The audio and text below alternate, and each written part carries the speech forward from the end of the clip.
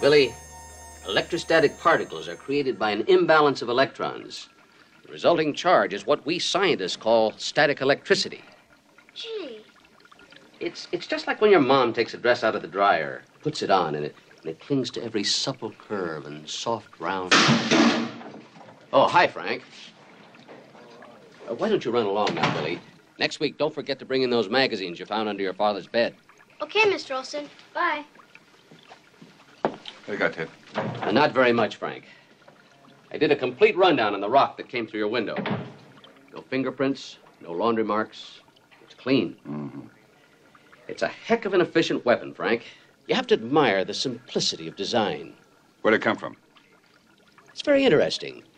I have a theory about that.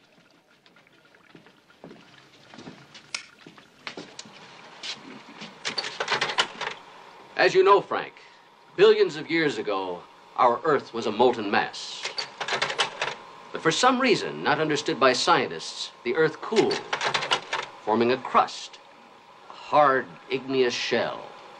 What we scientists call rock.